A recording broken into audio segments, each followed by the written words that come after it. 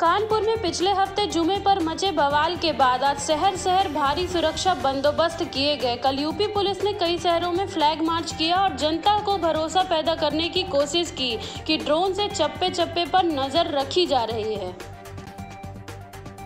दिल्ली से केरल तक लौटने लगी कोरोना की लहर। 111 दिन बाद पॉजिटिविटी रेट दो प्रतिशत के पार। देश में कोरोना की रफ्तार एक बार फिर डराने लगी है। 24 घंटे में साढ़े सात हज़ार से ज़्यादा नए मामले आए सामने और 24 मरीजों की हुई मौत।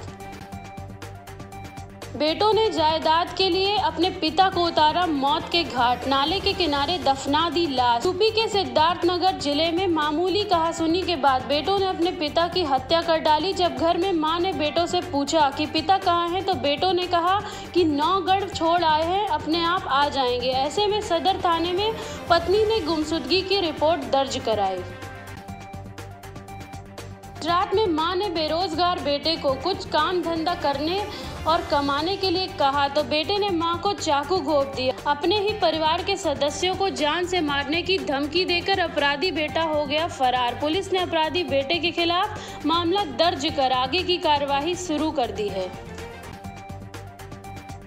मैहर का है मामला। सीएम हेल्पलाइन में कई बार की गई कंप्लेन के बावजूद उल्टा सीमा वर्मा, जिसकी झोला छाप डॉक्टर के कारण हुई थी, मौत। उसके परिवार पर दबाव डालकर रिपोर्ट वापस लेने का डाला जा रहा है दबाव। झोला छाप डॉक्टर रिंकू कुशवाहा की आज तक नहीं हुई गिरफ्तारी। गिरफ़्तार करने के बावजूद उसे छोड़ दिया गया। ऐसे भ्रष्ट पुलिस वालों पर हो कार्यवाही रविशंकर कह रहे थे कि समझौता कर लो नहीं तो तुम लोग को पुलिस थाने में बंद कर देंगे हाँ वापिस ले लो।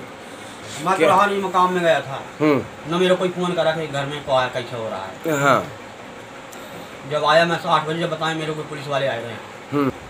आ गए थे बोले कि वो है बुलाए तो वो देवी जी में था न दीदी थी मैं बस थी। जब माँ मुलाकात नहीं हुई है बच्चे से वो हुई है। हाँ। बड़ी। लड़की घड़का रही थी बस।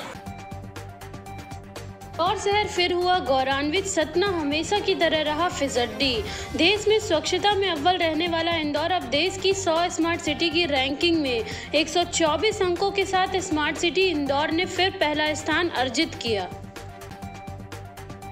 सतना सिटी कोतवाली के भ्रष्ट व लाचार कार्य प्रणाली के चलते ईदगाह चौक और कंपनी बाग की महिलाएँ, बच्चे व सम्राट नागरिक त्राहीमम त्राहीमम कर रहे हैं। आश्चर्य है कि इस चौक में 6 बजे से 10 बजे तक पुलिस का पॉइंट लगता है और पुलिस की उपस्थिति में यह मदिरालय में बदल जाता है। यहाँ शराबी महिलाओं, बच्चों व सम्राट नागरिकों को शांति से आने जाने नहीं देते। सिटी कोतवाल भ्रमण में आते हैं तो इस चौक में आते ही करुणा निधि वाला चश्मा पहन लेते हैं।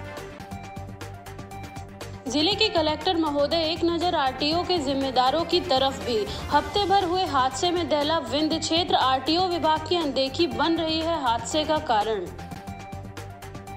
नगरीय निकाय चुनाव से पहले पूर्व मंत्री सज्जन सिंह वर्मा को नहीं है कांग्रेस पर भरोसा।